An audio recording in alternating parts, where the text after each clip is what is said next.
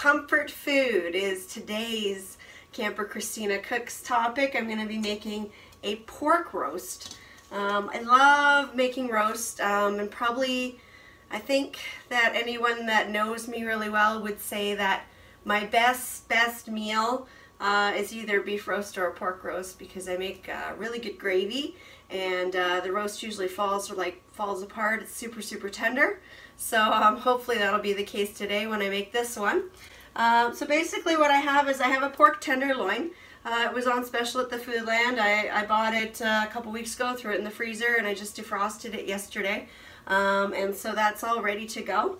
And uh, I've got some carrots here to put in and uh, tomato paste um, because I didn't get a chance to go to the grocery store to get some tomatoes. So I always keep a, a bunch of these uh, little tomato pastes on hand because they're super convenient if you don't have um, any fresh food or fresh tomatoes on hand. Um, you can just use this instead and it works just as good. Um, and then I have some Knorr beef cubes which uh, I like to use. Um, just got a cup of water here, uh, which I'm going to put in the microwave to uh, boil, and then the beef cubes will go in there. Um, so I'm going to get started by um, browning the meat, and uh, this was a step that I have skipped um, quite a bit the last year, and my roasts were not coming out right. So um, I redid it. I did a roast uh, two weeks ago, and I actually did the, the whole process that I've done like way before and it came out amazing. So I think that was the problem, so I gotta make sure that I do not skip that process. So what I'm gonna do is I'm going to um, take the pork tenderloin, I'm gonna get a frying pan, and put it on the stove here, and I'm gonna put some oil in it, and I'm just gonna sear the outside of the roast and brown it as much as possible all the way around um, so that that will help keep the juices in and keep it uh, nice and tender. Now in the meantime, I'm to preheat my oven to 400 degrees um, and then um, that'll be ready to go when uh, I've finished searing the meat. So let's get started. I've just got out my big frying pan here. Um, I could have used the regular sized one, but I didn't want stuff, uh, you know, falling out and splattering all over, so I figured I'd just grab the big one. Uh, just put a little bit of olive oil uh, on the bottom. You can use cooking oil, any kind of oil. I don't think it really matters. Uh, I've been making uh, roasts like this since uh, as long as I can remember. My mom um, makes it this way and that's kind of how I ended up doing it this way. So wait until that gets hot and then I'll dump it in the frying pan. In the meantime, um, there's no rush on this, but since it's done. Uh, I've just got the, uh, put the mug in the microwave just to boil some water. And uh, I'm going to take two beef cubes and uh, dissolve them in the boiling water. Just drop them in there and let them let them dissolve while uh, I do this other stuff. And we'll come back and use this in a little bit. Just put that over there for now. Just grab a fork. I find uh, when you're dissolving beef cubes, it's easier to do them in um, in the water with a fork because the fork you can kind of mash them and dissolve them a little bit, help them on their journey. Okay, my pot, my pan seems to be sizzling now. It's getting nice and hot. So I'm going to drop this pork tenderloin in there.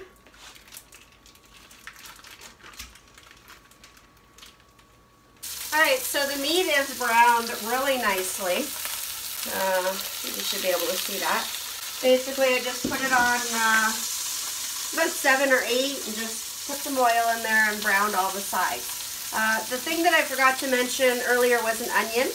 Um, if I don't have an onion, I just use some onion powder, um, but I did happen to have one, so I chopped that up, and I'm going to put it in here now that the, um, the roast is, is pretty much done browning. Oh, that smells good.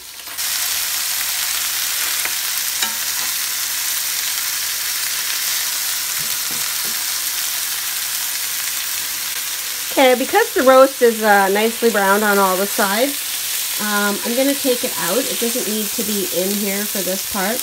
Um, the, the, the, part that I'm doing now is um, I'm going to put in some stuff in here, and that's going to be the base for the gravy. And then I'm going to put it all in the uh, roasting pan and put it in the oven. Um, it's a fairly simple thing. Uh, you just gotta use the right ingredients and get it all uh, in there and cooked properly and uh, the oven really does all the work. Just got the onions in there and I'm just going to let them uh, cook down a little bit and then I'm going to add uh, the carrots and the tomato paste. I'm going to chop up the carrots right now. They're, I just have the um, baby cut ones, the pre-cut ones. I'm just going to cut them into uh, a little bit smaller pieces and throw them in here.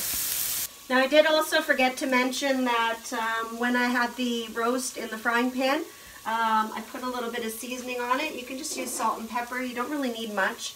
Um, the meat I find is generally salty, and then when I put in the beef cubes, um, they have a lot of salt and seasoning in them, so I don't really find that uh, the meat is flavorless or anything like that. My mom used to use paprika.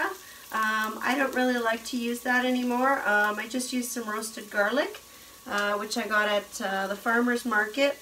Um, you can just use some garlic and some salt and some pepper. You really don't need much. So just got the onions in here and they're um, sauteing. I don't really love the taste of onion, but I like it when it's combined with other things to make something like a gravy. Um, so these are actually just being broken down. That's why I'm uh, putting them in the frying pan here.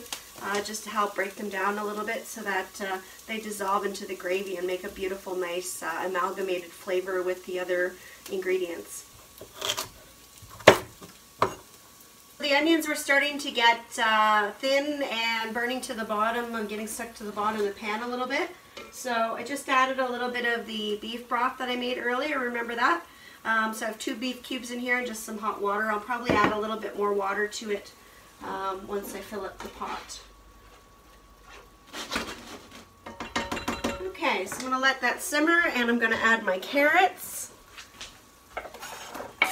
I don't really like carrots that much, um, but I find that they do the same thing uh, as the onion does. They kind of just um, blend into the sauce and they actually act like little gravy pockets. and uh, they hold the uh, the sauce in them. They also, um, I'm told, make the gravy brown or give it a nice coloring. So, um, and I guess they're good for you too. I don't know if they would be by the time you're done cooking for four hours or whatnot, but the, that's the vegetable that I'm putting in there. Alright, so I'm going to turn this up on high. And I'm going to pour the rest of the um, broth in here. Usually I just use water and I pour the broth in there, but I uh, the onions were getting really, really uh, sticky and burny, and so I had this cup here, so I figured oh, I'll just throw it in there. So throw that in there. I just noticed that uh, the beef cubes didn't really totally dissolve there in the bottom, which is uh, good that I have my fork, and that's all good now. So, um, so I have the can of tomato paste now. The last time I made beef stew, um, I used tomato paste and I used too much. Um, and that was not good. Um, it tasted more like tomato sauce than gravy. Uh, the last time I made a roast, I used just a little over half the can. So about two-thirds, two-thirds of the can, I would say. And that is what I'm going to use today. That in there. And again, this is in lieu of tomatoes. I would usually use uh, probably one and a half tomatoes. Just chop them up and then they basically just simmer down into the gravy to make the gravy. So I've got all the makings of the gravy in here now. Um, and I'm just going to let this simmer for a little while on the stove, maybe about 20 minutes or so, um, just to let everything start cooking. And then I'm going to pour it all over the roast and I'm going to stick it in the oven and that's pretty much it. it's, a, it's a pretty simple meal for something that tastes so rich and so delicious.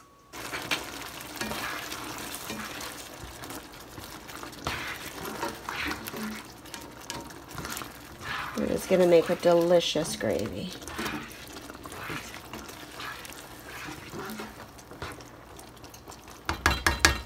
Want at this time, um, I, I'm one of these people that likes to try to do everything uh, in advance if I can. Um, and you can possibly pre-thicken the gravy by just sprinkling a little bit of flour over top of this. and mixing it in. Um, and that way you don't have to uh, thicken the gravy after the fact if it needs it, which it usually does. So I've just uh, let this simmer for about 20 minutes or so, um, just to start cooking the carrots and, um, you know, getting the, see the onions are down to like bits already. They're starting to, to slowly dissolve into the sauce. Um, I added one cup of water, um, equal to the cup that I put in with the beef cubes in it and I probably will add one more.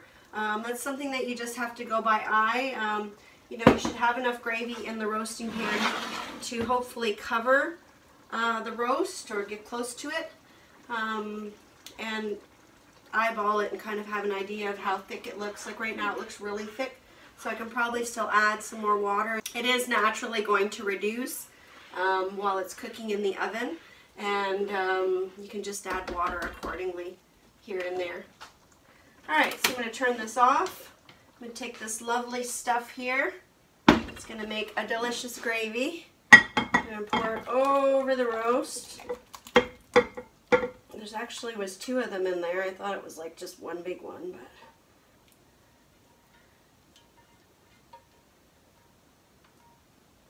So there it is in the pot. It looks absolutely gorgeous. Usually I take a couple forkfuls of the the bits in the gravy and kind of put them on top of the meat, but there's just that one little piece sticking up. So I'm to put the lid on it, and now I'm going to put it in the oven. Uh, I'm going to start it at uh, 400 degrees for half an hour.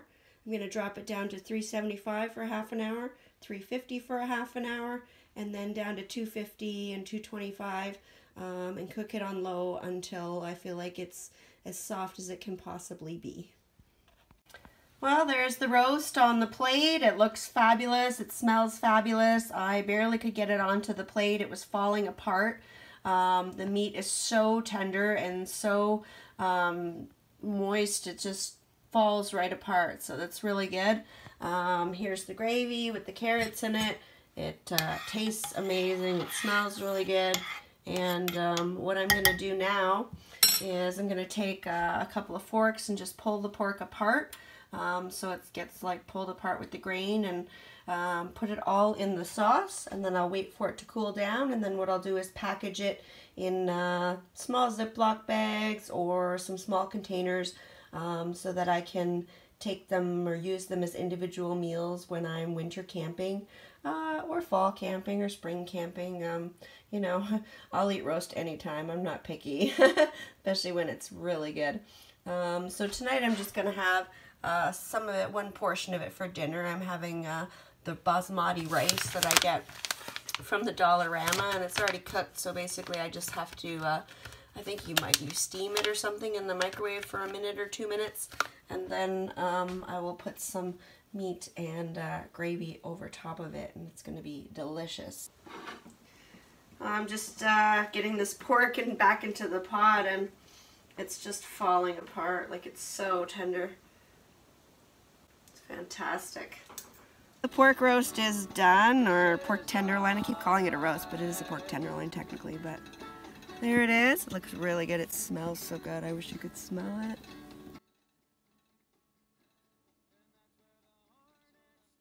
Mm. I gotta go eat. Bye.